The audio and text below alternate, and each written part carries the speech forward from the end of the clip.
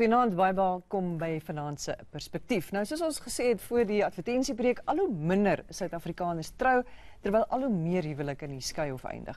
Volgens 'n verslag van Statistiek Suid-Afrika het 50000 minder paartjies in 2017 getrou as in 2008. Terselfdertyd het die getal egskeidings tussen 2011 en 2017 met 5000 gestyg. By my net om lig op hierdie onderwerp te werp is die regsgeleerde Lisel Stols en die seksuoloog Dr. Elmarie Mulder Craig. Dames, baie welkom hier by ons in die ateljee. Dankie dat julle ingekom het. Nou, die groot vraag is waarom gebeur dit? Elmarie, ek wil van albei van julle weet. My hoekom wat vind jy in praktyk? Hoekom skei meer mense? Hoekom trou minder mense? Hmm. Susan, ek moet daar's 'n verskeidenheid van redes. Ek dink dit gaan oor hoekom trou mense in die eerste plek. Ek dink dit is baie makliker om te skei vandag. Ek dink die taboe is minder. Maar ek dink ook ons moet kyk na die feit dat om te sê jy's getroud is een ding, maar daar's ook mense wat nie getroud is nie wat ook skei. Jy weet, so dit is die statistiek is nie altyd so jy weet ons moet dit in gedagte. Ons moet sê dis nie noodwendig so gebalanseerd nie. So Dit so, is dis nie so eenvoudig. So wat jy dan eintlik sê is daar's eintlik meer verhoudings wat op die rots sit. Presies. So die probleem is nie met met trou nie, die probleem is met verhouding. OK, nou ek wil nou met julle praat oor die verhouding, maar wat vind jy in die praktyk redes wat jy sien wat mense vir jou sê?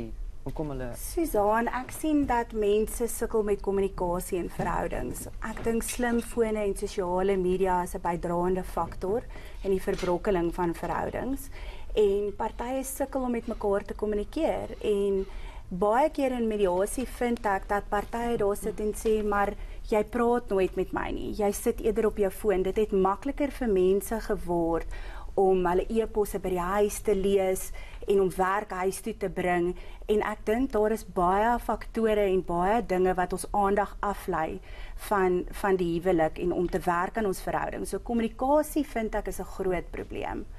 En dan natuurlik nou die dit is so maklik op Facebook of sosiale media mm. om daai as jy bietjie verveeld is in jou huwelik en jou verhouding, dan gaan kyk jy na iemand op wie jy 30 jaar gelede verlief was op skool en dan gaan soek jy hulle op. Nee, want dit is wat wat wat mense sien, is dit nie so nie?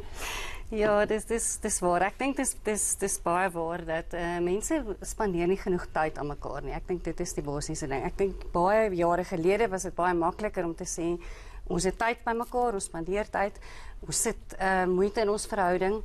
En uh vandag is dit baie moeilik die lewe gebeur. Ek sê altyd vir mense die lewe gebeur en dan is dit al hoe moeiliker om intimiteit, jy weet op alle vlakke, emosioneel en fisies te kweek en dan is dit maklik om op sosiale media met ander mense te begin gesels en dan is vertroue 'n probleem en dan raak die seksuele 'n probleem en en so gaan dit aan maar ek dink 'n mens moet versigtig wees om te sê dis so eenvoudig as net kommunikasie. Ek dink dit mm. dis die kern daarvan maar dit dit is 'n bietjie meer kompleks. Maar wat dink jy? Dink jy dis ons? Ons weet net nie wat wat regtig verhouding beteken. Ek dink so en ek dink mense is baie meer op hulle self ingestel. Hulle is baie meer narcissisties. So ek dink dit gaan oor wat sien mense as as verhouding en wat wil jy uit verhouding hê? Ons dink mense moet ons gelukkig maak. Iemand anders moet ons gelukkig maak.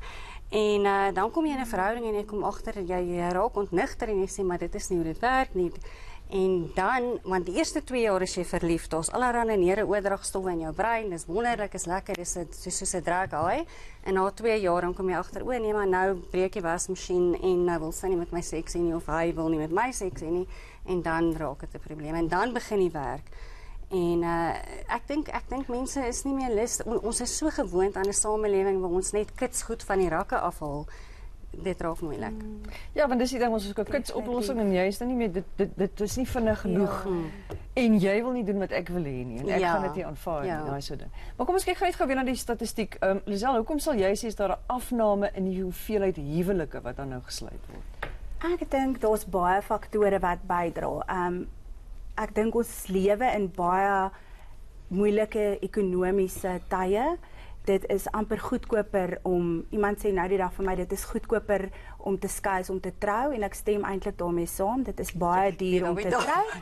En ek dink dit dit mense fokus deesdae meer op hulle eie loopbane. Ja. Hulle betaal nog studielenings af en hulle fokus eers op hulself voordat hulle dan besluit om in 'n huwelik in te tree. Ja. En is dit nie ook so dat destyds 20, 30 jaar gelede toe vrouens tradisioneel nie eintlik gewerk het nie, Ja. beroepsmense was nie, het hulle iemand gehad nodig gehad om En te dis sorg wat vir ek hulle. ook nou wil sê is die rol van die vrou in ons samelewing het so verander. Ons het vrouens wat aan die stuur van besighede is, wat hul eie besighede bedryf, wat in bestuursposte is en daai dinamiek in verhoudings dink ek is ook moeilik en dit plaas druk op 'n op 'n verhouding omdat vrouens ook nou in 'n bestuurspos is en nie en ook 'n bydra baie keer kry mense dat vrouens broodwinners is en dit plaas op daai tradisionele rolle dink ek druk op 'n huwelik. Dit is ook waar wel dat daar ook vrouens is wat nie finansiëel onafhanklik is nie wat dan nou vasgevang raak in hierdie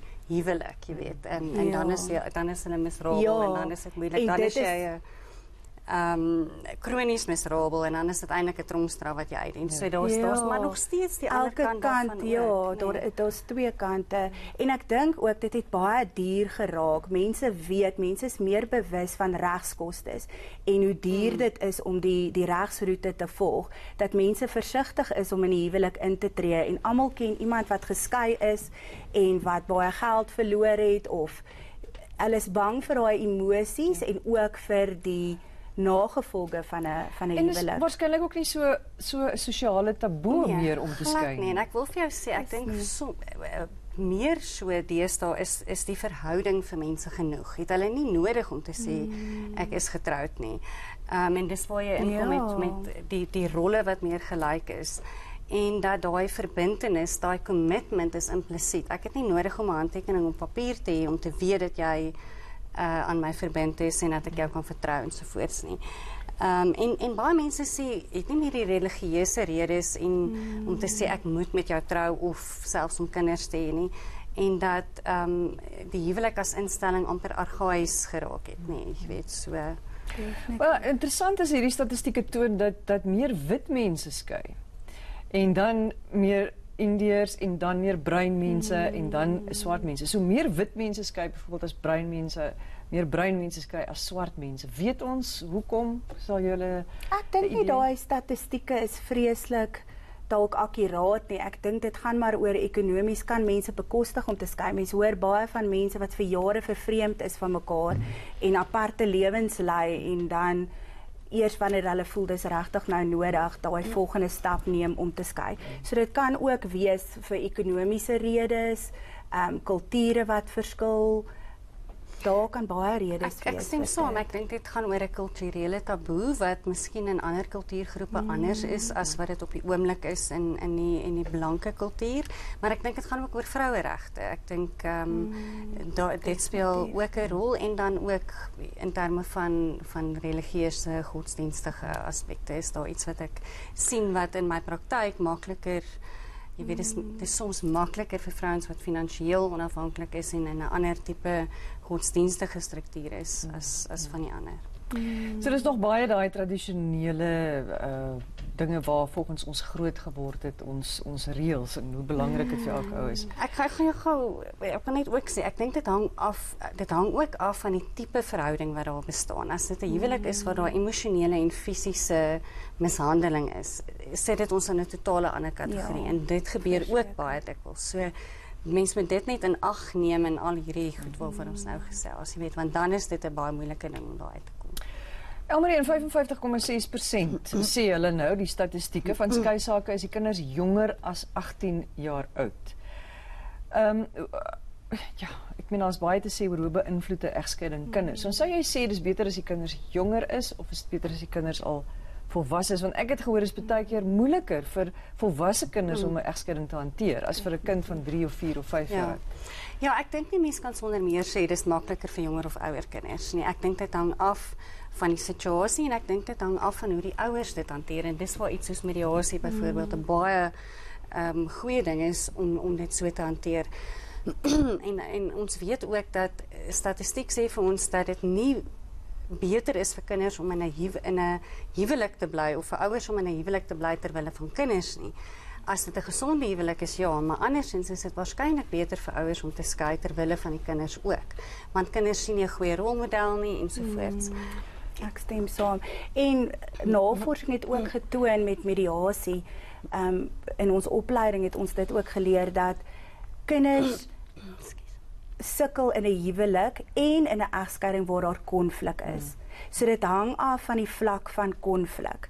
As 'n egskeiding hoë konflik het of 'n huwelik het hoë konflik, gaan die kinders swaar kry. En dit en dit dit hang ook af wat is wat is die die ehm um, terapie en die raad ensovoorts wat jy vir kinders Ja. gee. Jy weet, so as ouers gesond dit gesond hanteer, as ma okay is en pa is okay en Dan- ons sê ons vat vir kinders vir terapie en almal is okay en en kinders kan sien ouers hanteer dit beter as wat jy in daai toksiese omgewing is.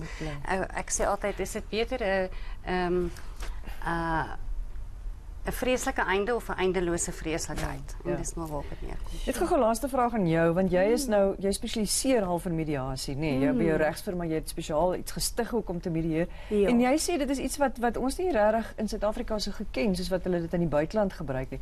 Wat is die proses en en dit is 'n soort van 'n alternatief vir mense voordat hulle nou besluit goed, nou skei ons finaal. Definitief Susan, mediasie is 'n baie nuwe prosedure in ons regstelsel.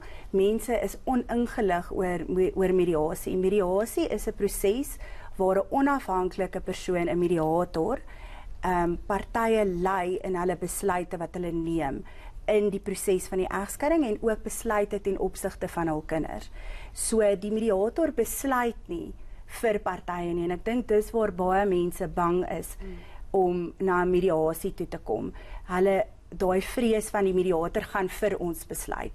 Die mediator besluit nie, die mediator lei partye en dis altyd goed om 'n mediator te kies met 'n regsagtergrond wat daai insig ook kan gee en lei partye om die regte besluite vir hulself en hul kinders dan te neem. So so 'n mediasieproses is dit is dit as daar's een mediator en dan is daar die twee partye. Daar kan twee mediators wees, maar gewoonlik is dit een mediator en dis die twee partye. Die mediator tree nie vir 'n spesifieke party op nie. Die mediator is daar om die proses te lei. En die mediator sal dan na die tyd 'n ouerskapsplan of 'n skikkingsooreenkoms opstel wat dan in die hof 'n hofbevel gemaak kan word. En hoeveel liewelike sou jy sê red so 'n mediasieproses? Mediasie, ek het al gevind dat huwelike gered word want partye in 'n mediasie wat wat nie vir terapie gegaan het nie, praat in mediasie mm. en hulle praat oor hulle probleme. En baie keer probeer hulle dan weer om om te werk aan hulle huwelik. Maar die kinders word gered in 'n mediasie mm. want jy red kinders van konflik Ja. en die partye is in beheer van die proses en hulle neem besluite vir hulself en hul kinders en dis baie Dink as jy belangrik. by mediasie kom as jy 'n bietjie ver ek- Is jy Maak net gou daai sin klaar. is is jy dalk al bietjie verby ehm um, Ja. uh Red. red, Red. maar daar is ook dan terapie wat ons noem conscious uncoupling om jou te help om daai verhouding los te maak. Ja. Baie dankie vir julle inkom. Was uh, lekker om met julle te gesels. Dit was hier regsgeleerde Lisel Stols en ook die seksuoloog en verhoudingskenner Dr Elmarie Milderkruik. Bly asseblief ingeskakel want hierna gaan ons kyk na 'n interessante manier om seuns en dogters bewus te maak en weerbaar te maak teen gesinsgeweld.